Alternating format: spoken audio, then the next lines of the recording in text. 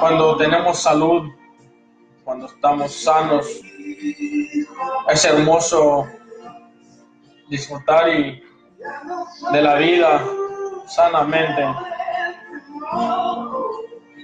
Pero ¿qué hay de la gente que, que hoy en día están en un hospital o, o la gente que están a punto de morir o la persona que ya está conectado a una máquina ya con una sola palabra de algún familiar o firmar alguna hoja para desconectarlo y y como dijeron aquellos pues adiós no pero nosotros que estamos sanos que estamos vivos démosle gracias a Dios por un día más aprovechando el tiempo como dice la Biblia, acuérdate de tu Creador en los días de tu juventud, antes que vengan los días malos en los cuales digas en ella, no tengo contentamiento. Así que mi gente, dámosle gracias a Dios por, por este día hermoso, por este privilegio Créanme que es un privilegio estar vivo, es un privilegio estar con los ojos abiertos, ¿no? Porque es por la gracia de Dios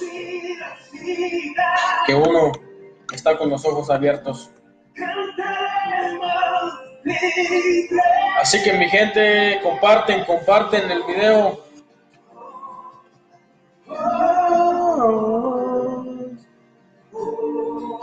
A ver, a ver, ya se están conectando más. Gracias mi gente, gracias, un placer tenerlos aquí familia. Estamos a los 6.59 pm de la tarde, las 7 en punto de la noche. Muchos están compartiendo ya, muchos están ya con la familia, algunos otros están en camino para llegar a la casa, yendo a la casa.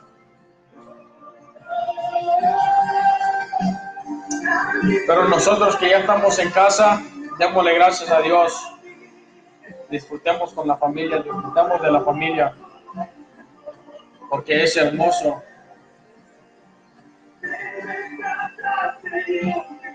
Así que mi gente, en esta hermosa tarde quería compartir un rato con ustedes, ya que gracias a Dios, pues Estoy en casa nuevamente con mi familia, con mi hermosa esposa y mi hija.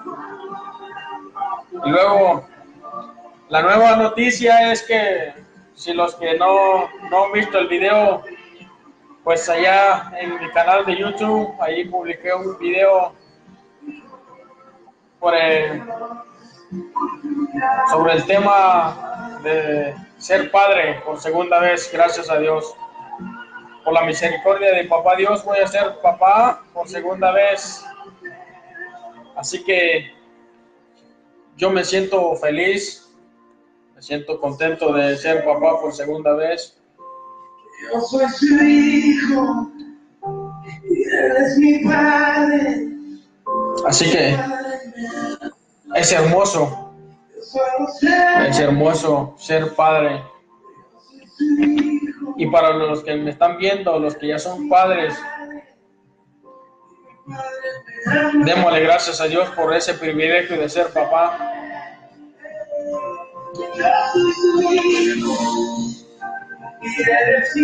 La Biblia dice que los hijos son herencia de Dios para nosotros. Y nosotros que tenemos ese privilegio de ser padre, pues aprovechemos bien el tiempo en el mundo habrá mucha gente o muchas personas que quisieran ser padre o alguien que quiera ser papá o alguien que quiera ser mamá y que no tiene ese privilegio.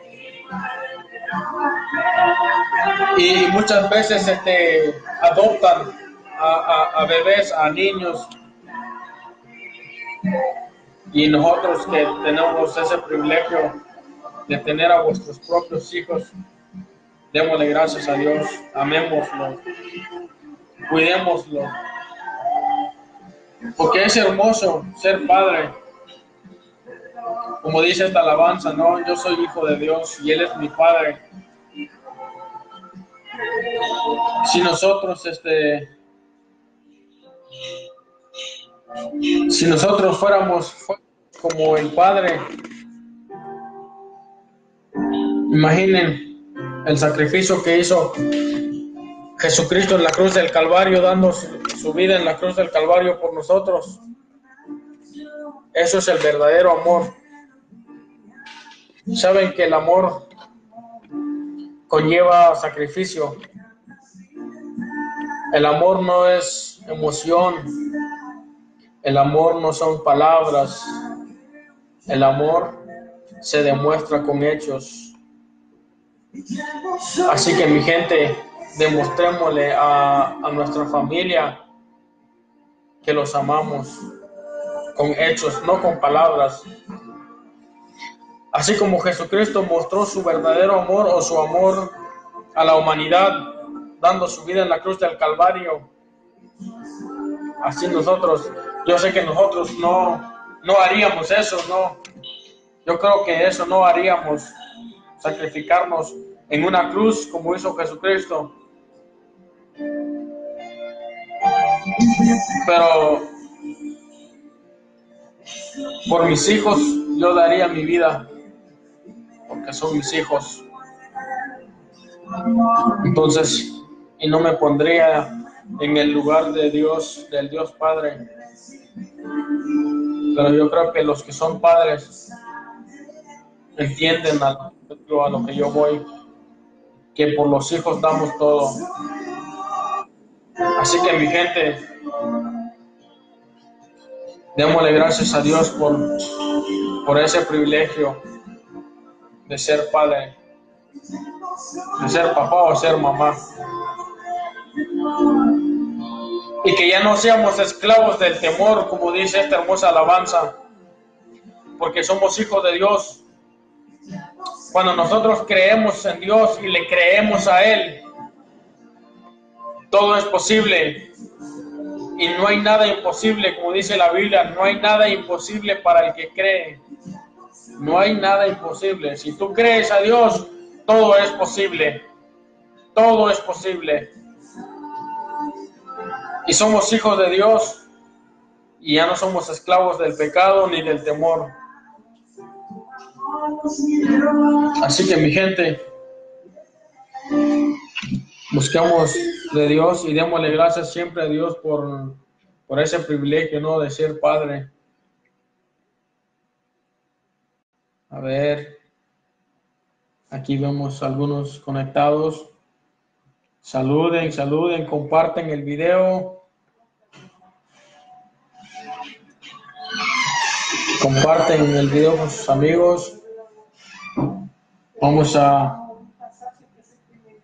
Vamos a darle compartir, vamos a darle like.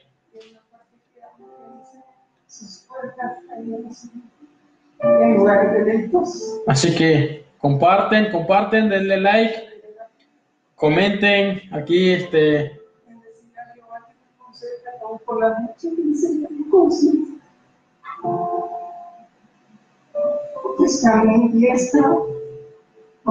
Así que mi gente, comparten, comparten, denle like.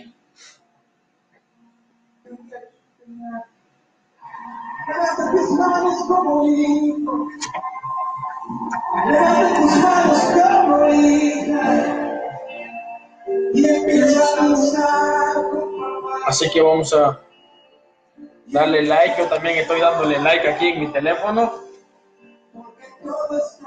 para compartir.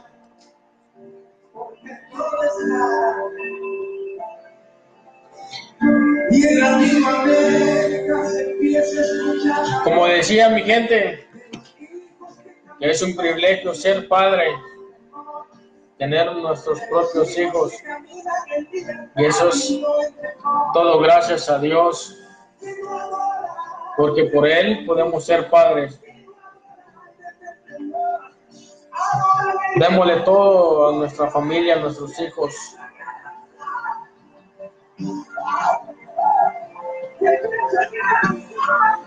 Saben, mi gente, como dijo el apóstol Pablo, ya no ando buscando lo que la gente apruebe o lo que o lo que digo, ni ando buscando quedar bien con nadie. Ya no busquemos lo que la gente apruebe, no. Yo sé, yo sé que la gente siempre nos va a criticar. Muchas veces hacemos las cosas para quedar bien con la gente, pero a veces no estamos felices haciendo las cosas.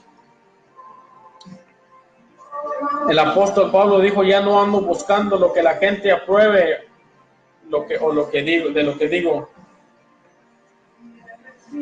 Seamos originales, seamos únicos, que no seamos copia, no, que no sea, que no imitemos a otros, sino seamos originales, como dijo el apóstol Pablo. Hagamos lo que nos, nos, nos hace felices, practiquemos lo que nos hace felices, pero siempre bajo la voluntad de Dios, siempre haciendo la voluntad de Dios. Muchas veces hacemos las cosas del mundo para quedar bien con la gente, pero todo tiene un precio y a la vez todo tiene consecuencias, sea bueno o sea malo, todo tiene consecuencias, mi gente, mi familia. Así que hagamos las cosas bien, a nuestra manera, a lo que creemos que es correcto hacerlo, tomando siempre a Dios como primer lugar. Ni andamos, ni busquemos quedar bien con nadie,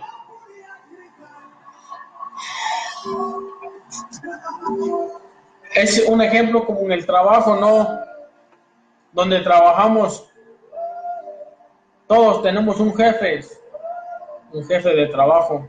A menos que tengamos nuestra propia compañía, pues somos el jefe de nuestro propio, nuestra empresa.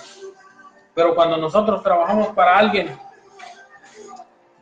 muchas veces no, no, no, no, no nos gusta hacer lo que nos ponen a hacer, pero al final de cuentas lo hacemos porque nos pagan. Y sabemos que si no lo hacemos, nos corren del trabajo, ¿verdad? Entonces, lo hacemos para que no nos corran del trabajo. Y eso, y eso es así. Cuando trabajamos para alguien, si ese alguien nos dice, haz esto, aunque no lo quieras hacer, lo tienes que hacer. O si trabajas en una compañía donde ponchas cuando entras a trabajar tu tarjeta, ponchas tu tarjeta para empezar y ponchas tu tarjeta para salir, tienes que estar a las en punto, a la hora que sea, tienes que ponchar para empezar. Aunque no quieras. Por ejemplo, así como yo. Yo me levanto a las 4 de la mañana, me baño a las 4 de la mañana, a las 4 y media ya estoy saliendo de la casa, a las 5 estoy en el trabajo y a las 5 y media de la mañana en punto comienza mi horario de trabajar, de trabajo. Y aunque a veces no me gusta, y aunque a veces este, me canso de estar levantándome a las 4 de la mañana, me canso levantarme todos los días de lunes a sábado, pero lo tengo que hacer porque necesito el trabajo y obligado lo tengo que hacer. Y eso son cosas materiales y eso es cosa terrenal. Ahora vemos en lo espiritual. ¿Por qué no hacemos lo mismo en las cosas de Dios? Damos más tiempo a las cosas visibles, al trabajo o a la familia, a todo. Y a Dios lo dejamos como segundo lugar.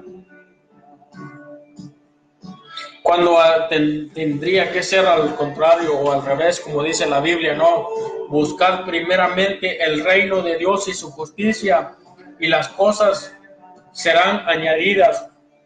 Busca primeramente a Dios, pon a Dios en primer lugar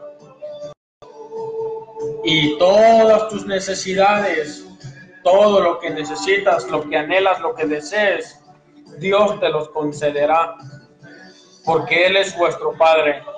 Y un padre que ama a su hijo, pues ese padre le dará lo que su hijo le pida. Pero cuando el hijo es obediente, pues el padre le da lo que él le pida. ¿Me, entienden? Si un hijo no es obediente al padre, obvio que el padre no le va a conceder sus peticiones, ¿no? Cuando le pides algo. Pero cuando eres obediente, cuando obedeces a tu papá, tu mamá y haces lo que ellos te dicen, ellos se sienten orgullosos de, ti o de uno como hijo. Y así es Dios, Dios se siente orgulloso o se siente o le agrada cuando nosotros somos obedientes a Él. Pero cuando no le obedecemos, yo creo que a Dios le entristece su corazón al saber que nosotros no le, no le obedecemos. Así que mi familia, comparten este video, denle like para llegar a más gente, a más personas, ya que a través de las redes sociales podemos llegar hacia ustedes, podemos entrar en sus hogares, en su teléfono, donde, donde quiera que nos ven. Así que mi gente, por eso les digo, este, démosle gracias a Dios siempre por, por el privilegio, por la oportunidad, ¿no? Que nos da de, nos da la vida, nos da salud, nos da trabajo.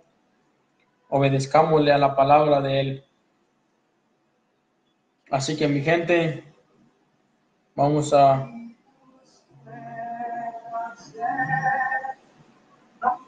Bueno, mi gente, los dejo, los dejo.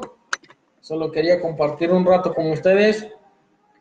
Este, si quieren, síguenme en mi canal de YouTube como Esteban Vargas y en Facebook como Esteban Vargas Blog, mi página oficial ahorita voy a, voy a transmitir un rato en mi página oficial de Facebook. Así que, mi gente, los dejo. Que Dios me los bendiga. Los veo en un rato, los veo en un momento.